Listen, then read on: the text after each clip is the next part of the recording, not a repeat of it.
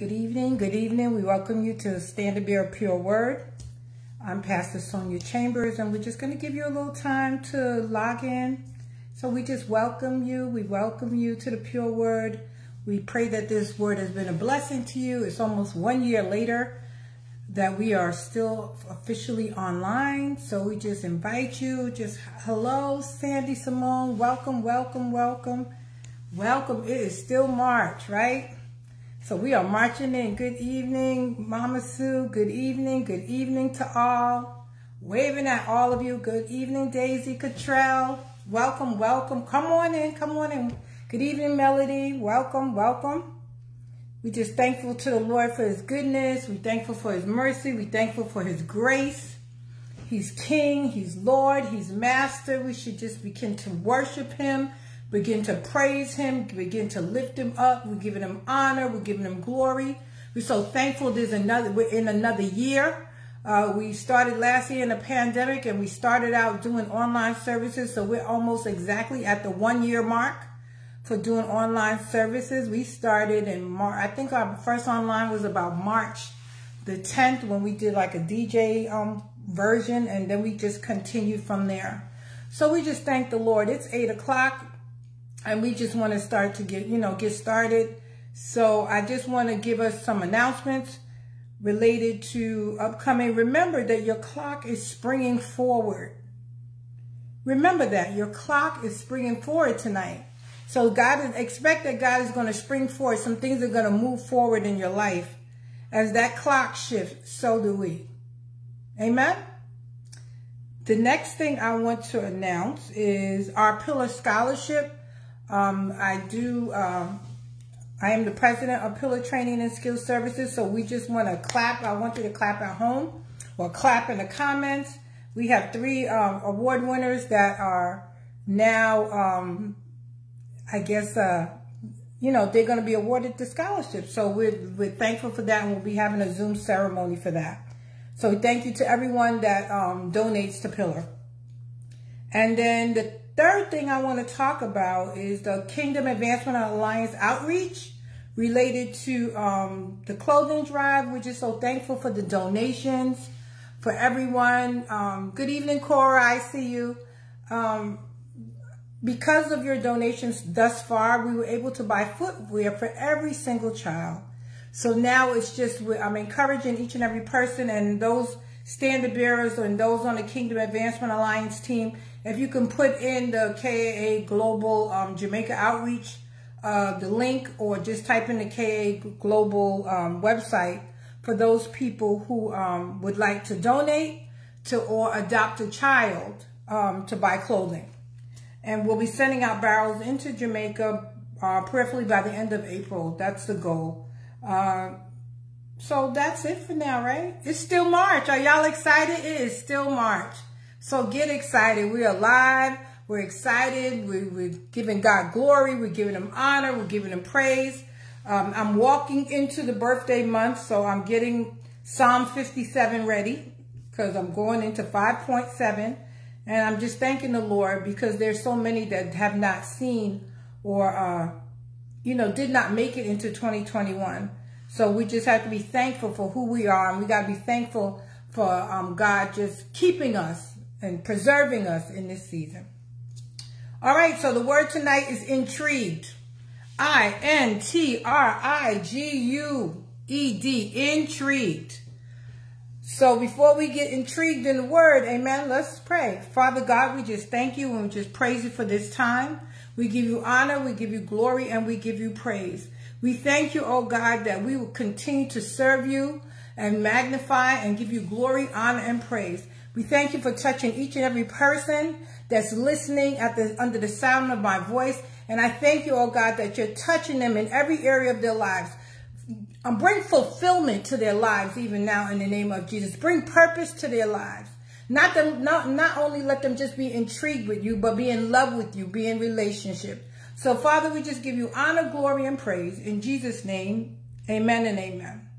So the scripture tonight is Acts chapter 17, and we're going to get to verses 16 to 34. Good evening, um, Jenny. I see you. Um, so just put that in the comments for those who are, are, are, um, participating. It's Acts chapter 17, verses 16 to 34, and it's the message version. So the word is intrigued tonight, and intrigued is a verb, and it means to arouse the curiosity or interest of, of by unusual, new, or otherwise fascinating or compelling qualities. So I'm saying to you, what's intriguing you? What's um arousing you? What's piquing your curiosity? And I was thinking about that, you know, earlier today. What's captivating you? What is the thing that, you know, takes your attention? So think about it. Are you intrigued by Netflix? Are you intrigued by dating apps? Are you intrigued by reading? Are you intrigued by cars? I used to, when I was younger, I used to just watch cars. I used to sit, I used to live in D.C., and I used to sit on a big street called um, 16th Street, and they would have a bench in the middle of the road, and I would just be intrigued by cars. Actually, I was intrigued by Audi cars. I loved to look at Audi cars, and I would just watch them and count them as they went by, and I would just say, well, what is it that captivates us? What is it that's getting our attention? What is it that compels us? Let's let's go to the word tonight because I want you to be encouraged tonight because this intriguing this thing that's going to arouse you, this curiosity that you have, that thing that God put inside of you is not related for you to just um, let time go by. The clock is springing forward and the hour is, is being shifted. How, what are you going to do to redeem that time? We just can't be intrigued and captivated by every single thing that's going on. We got to stay focused. We got to stay driven. We got to stay connected to the, Jesus Christ. Amen? So let's go to um, verse 16 in um, Acts chapter 17. It says here, it says the longer Paul, and I'm reading the message version for those who are um, reading along. It says the longer Paul waited in Athens for Silas and Timothy, the angrier he got. All those idols. The city was a junkyard of idols. And idols in our lives are not just just things um, like statues and so forth, but there's idols in our lives like relationships, there's idols in our lives like social media. It's an idol. You can't do without it. You got to always check and see what's going on. You got to let people know what's going on with you. That's, you know, sometimes we take it to the, the far, far extent and it becomes an idol. Verse 17 to 18 says, He discussed it with the Jews and other like-minded people at their meeting place. And every day he went out on the streets and talked with everyone who happened along. Do we, are we friendly? Are we saying hi? Even now that we're going through a, a season where people are being vaccinated, there's still a mask, you know, mandates in many places. But are, can they, can they see the smile in your eyes? Can they see a welcoming touch? Can they see it? It says, it says that every day he went out on the streets and talked with anyone who happened along. He got to know some of the Epicurean and Stoic intellectuals pretty well through these conversations. It says, some of them dismissed him with sarcasm. What a moron. Listen to, this is what the word is saying. What a moron. But others listening to him go on about Jesus, the resurrection, were intrigued. They were captivated. So here's the thing. One of the things that, you know, not everyone's going to believe what you believe. But there are going to be some people that are going to be intrigued if you tell them. It says that he went around in the streets and talk to anyone that happened along. And I'm saying to you, when's the last time you talked to someone new? When's the last time you said hi to someone that you didn't know? Are you just captivated by just a small circle or the circle that you only know? Or are we going to get um, to share the gospel, to tell others about Jesus and get their hearts intrigued to want to know him? So it says here, what a moron it says, but others listening to him, because people may call you silly. People saying, I don't know why you believe that, but I'm saying everyone has a belief. Either they believe there's God and they believe, or, or they don't believe. I choose to believe. And my encouragement is that we should also be choosing to tell others as well. This is not a time to just sit back.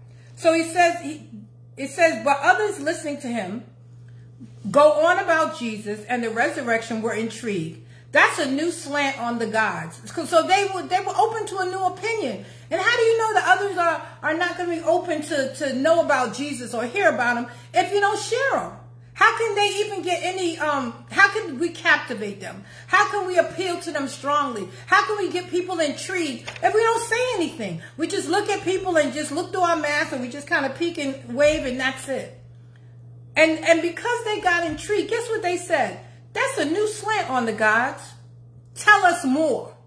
What do you do if you, you, you captivate somebody? You tell them about the love of Christ. You tell them how Jesus died for them. You tell them that as they accept the Holy Spirit in their life, you tell them that, uh, that healing can take place, breakthrough can take place. What are we going to do? We're not going to say anything. So if we don't say anything, you won't hear tell us more. You won't hear tell us more. So we got to intrigue. We got to captivate people. We got to build their curiosity to hear about and know about this God that we serve. Verse 19 to 20. All right, let me start right there. I mean, because I just, I just feel like in this season, we have gone through a whole year of COVID and I'm saying, who do you know? It tell, write in the comments someone new that you met. Write a name, write an initial, do something, but, but Evaluate a whole year of in a pandemic if you met anyone new. Did you tell anyone about the Lord? Did you encourage them? Did you pray for them?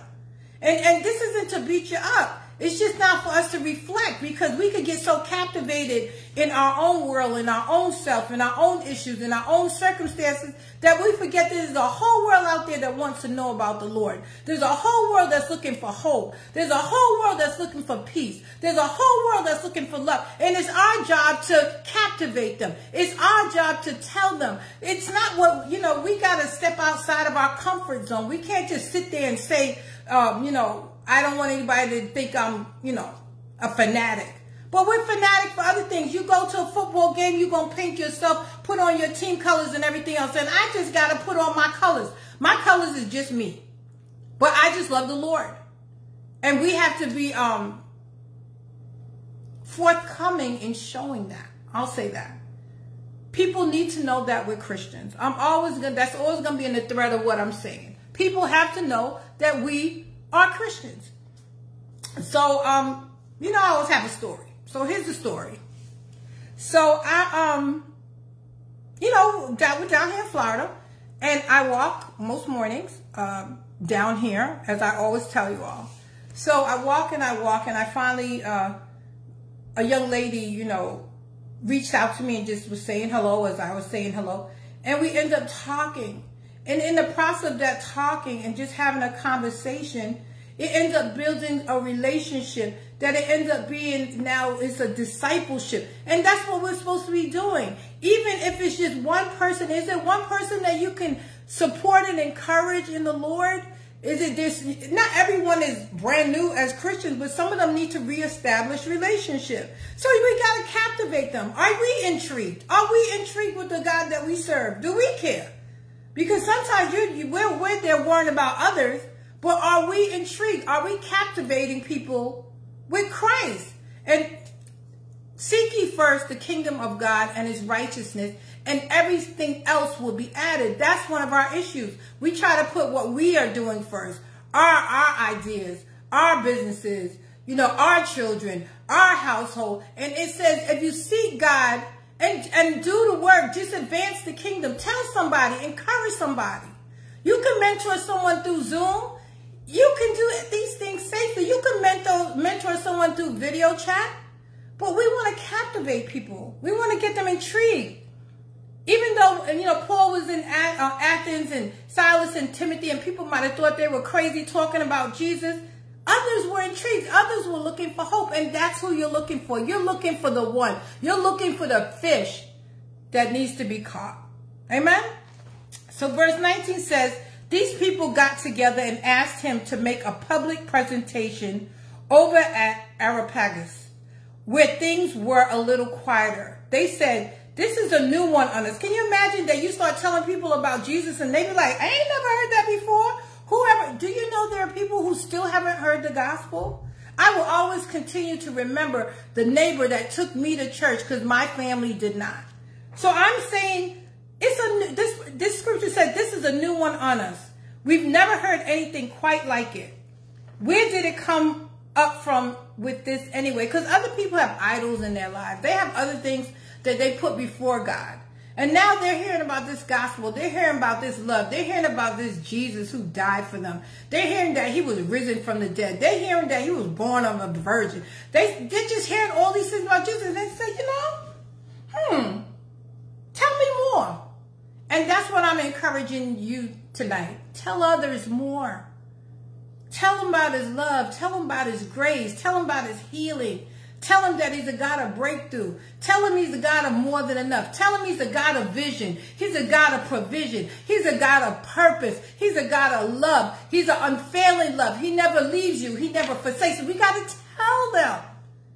Because we got to intrigue them. We got to captivate. We got to arouse their curiosity to see why is it that we can go through some of the roughest situations in our life and still be able to stand your testimony, sometimes the arousal for others is to know that you're a Christian, knowing what you're going through, and still be able to stand. So sometimes it's not even in the words that you speak, but it's the life that you live. So I'm encouraging you. Arouse others with the curiosity to want to know Christ by guess what? Your life. The scripture goes on to say, it says, where did you come up with this anyway? Explain it so we can understand it. People want to know. People want to understand. They want to, um, they, they don't want, a lot of people, they don't want to battle about Jesus. They just want to know about him. So just tell them. Encourage someone in prayer. encourage someone by sharing. What is intriguing us tonight? What is it going to make us, what is going to captivate us as Christians to want to do it? To share the gospel, to love others, to care about others. You know, I was um thinking the other day related to online dating. Because that captivates people. Some of y'all might say, ouch. But that captivates people. What makes you, I, you know, I was thinking about what makes you go online, and male or female, doesn't matter, and you read a, you, I guess you read, because I've not been on one, but I'm just trying to piece it out from what I'm hearing. You read like maybe a profile. And based on that profile, you get intrigued. You get, you know, captivated. You get aroused. You get an interest in maybe I should press and try to meet that person or maybe I should have more conversation with that person. This is the same thing we're saying about Jesus. If we could uh, um, spark people's arousal, maybe we could just press a heart button touch an emotion that'll make them want to know more, hear more. But that button is us. There is, you know, there's no online way of, of, of telling others about Jesus. You can read about it, you can so, but what a better way to have a personal touch from one of us. So let's continue. It says, explain it so we can understand. It says, downtown Athens was a great place for gossip. So Father, we pray even now that those of us that are gossiping, you stop it even now because that's not what we're trying to do. We're trying to share the gospel, not share gossip. So we say ouch right there. It says, there were always people hanging around, natives and tourists alike, waiting for the latest tidbit on almost anything. So basically this area was a place where people just kind of hung out to see what was going on. What was, ain't that social media in person? that you just kind of look around to see what's going to be new, what's going on. And, and we and we love social media because it's an amazing platform for us to share ideas, share the gospel and so forth. But it also, just like this place downtown Athens, it was a place where people were just waiting to see what was going on, any little tidbit. Verse 22 says, So Paul took his stand in the open space at Areopagus and laid it out for them. It is plain to see that you Athenians take your religion seriously. Because he was saying that, they, you know, they believe some things, but they want to know more. He said, when I arrived here the other day, I was fascinated with all the shrines I came across. So they were taking their idols and so forth very seriously. But he said, and he said, and then I found one inscribed to the God nobody knows. Oh, let's stay there. The God that nobody knows. There's some people that don't know him but they know you. So our job is to help them to know him. The scripture says, I'm here to introduce you to this God so you can worship intelligently. Know who you're dealing with. It's one thing to, you know, to have statutes and so forth, but there's nothing like having a God that knows the innermost parts, your innermost secrets, your innermost love. But we have to spark others curiosity. We have to get them intrigued. And the only way we can intrigue them is by sharing the gospel of Christ. Verse 24 says, The God who made the world and everything in it, this master of sky and land, doesn't live in custom-made shrines or need the human race to run errands for him. Our God don't need our help in anything. Actually, he's he he he sent Jesus to die so he could reconnect to have relationship with us, but he never needed our help. This is the Father of the universe. It says, as if he couldn't take care of himself. Is our God, he can't take care of himself? Can he take care of you? Father, I pray even now in the name of Jesus that those who think that are taking care, they are taking care of themselves, eradicate that mindset even now in the name of Jesus. Share with them.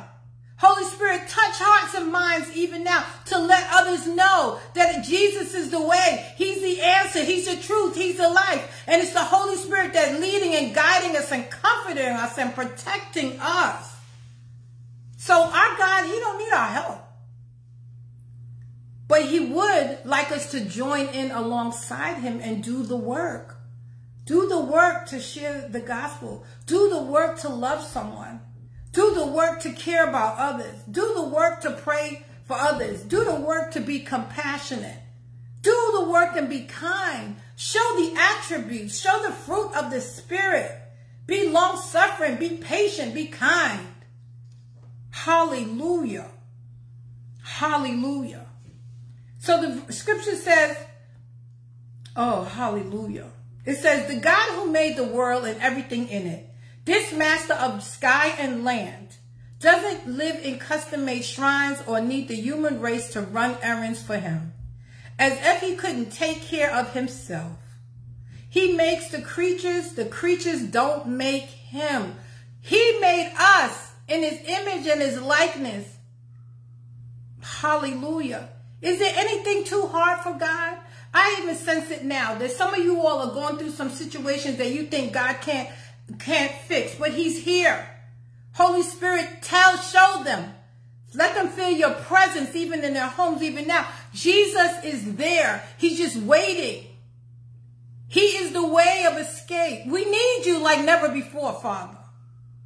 We're not hiding from you.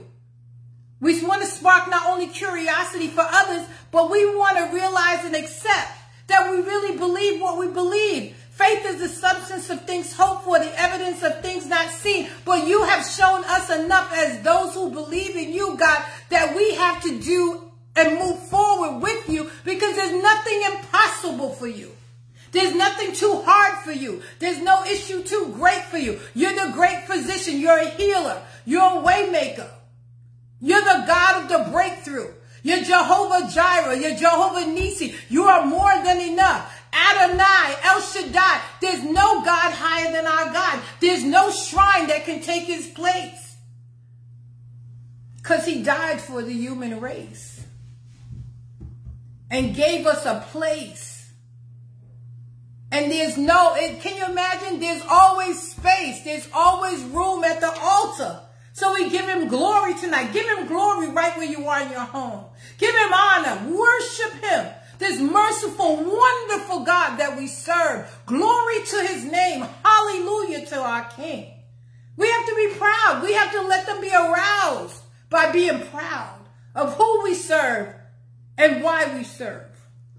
The scripture goes on, it says, he doesn't play hide and seek with us. Our God is not hiding from us. He's our very present help in time of trouble. Hmm.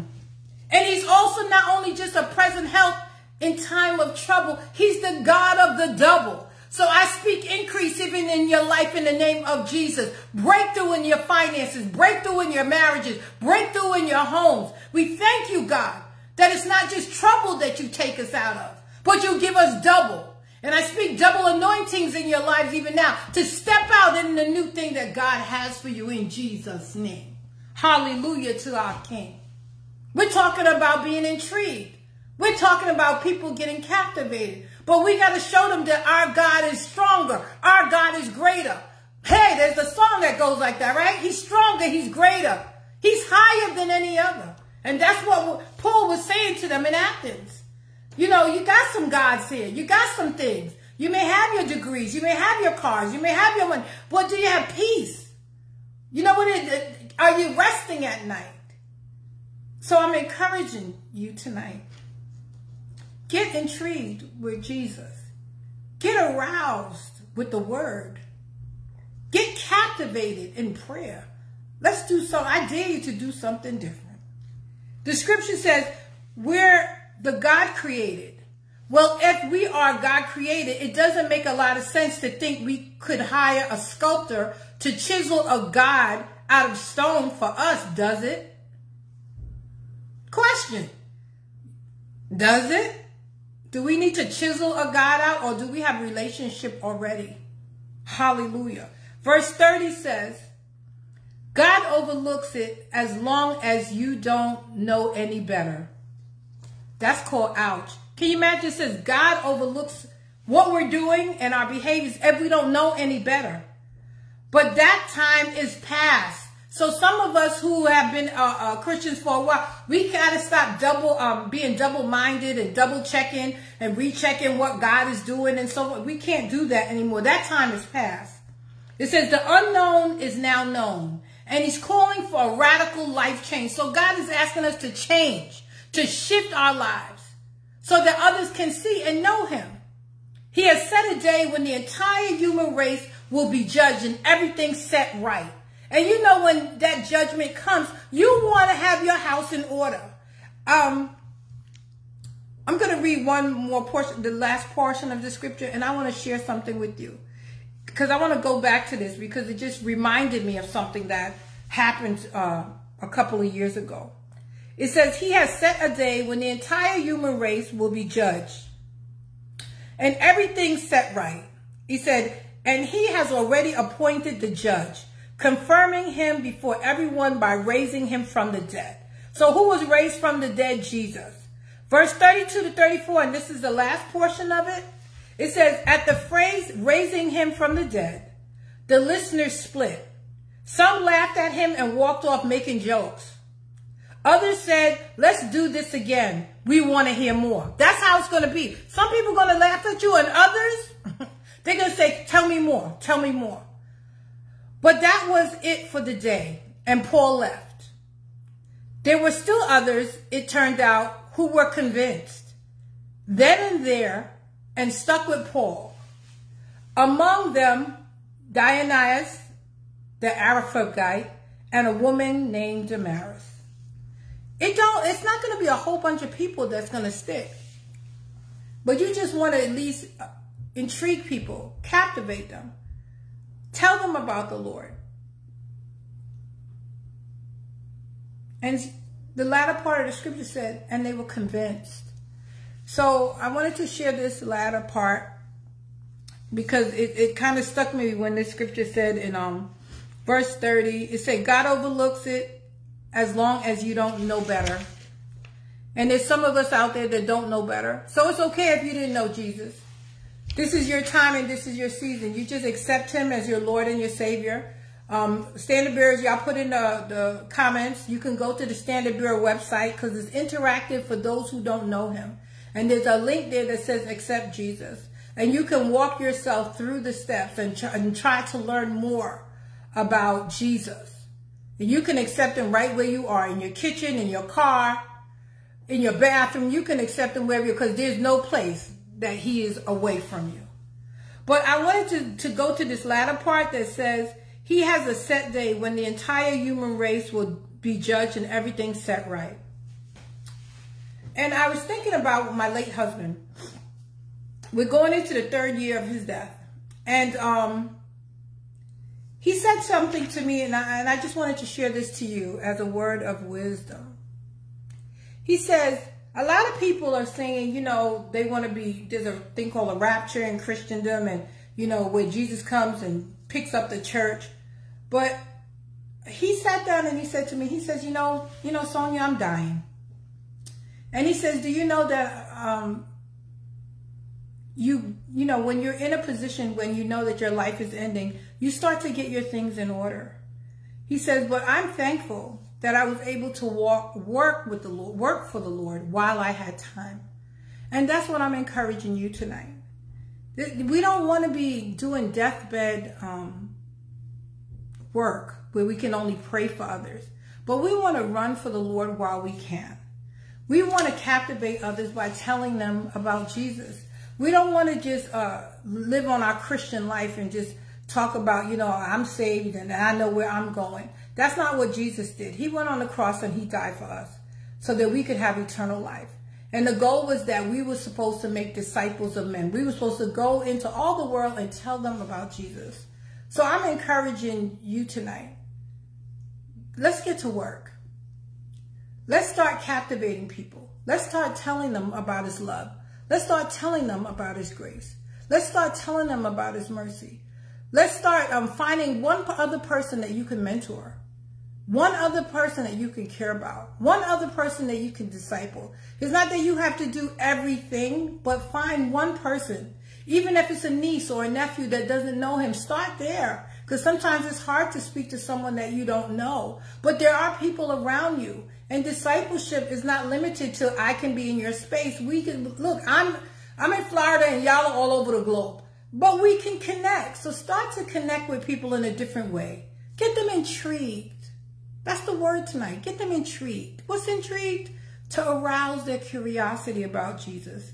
Let's show them that we have an interest and we care about their salvation. We care about where their eternal life is going to be. There is a heaven and there is a hell. And many people may say, I don't believe that. But there's a lot of things that you do believe that aren't true. They write stuff in history books and you believe it all. And then now we're now trying to fix it. So I'm saying I believe. And I'm encouraging you to believe. I'm encouraging you to be exposed to Christ. And um, when breath leaves your lungs and you uh, finally go before the Lord, you want to hear well done come on in. You want to hear that. So I encourage you tonight to start to get you as a Christian, those of us who are on here as Christians, let's get captivated in Christ so we can get others intrigued. So God bless you all. Once again, I'm Pastor Sonia Chambers. I'm the senior pastor of Standard Bearer, New York and Standard Bearer, Florida. I'm the apostolic leader of Kingdom Advancement Alliance and I approve this message. Do y'all approve? We approve Jesus, so we just want to give him a hand clap. We just give him honor and glory and praise because we approve what the Holy Spirit is doing. That as we share the gospel and tell others about his love, that God, mm, he's getting ready to shift some things in your life. And you think that you spring, some people is springing forward. Not that you losing an hour. Shift the thought tonight. I'm springing forward. I am not losing an hour. So we, God bless you all. I just love you all so much. And just keep praying because this week is the birthday week. But you know, it's the whole month. But we approve what God is doing in our lives. And I just bless y'all. I bless your families. I bless your children, your grandchildren. I speak blessings upon blessings over your life. And we thank you for your sacrifices that y'all uh, give by just joining in with us on Pure Word. So God bless you all and good night.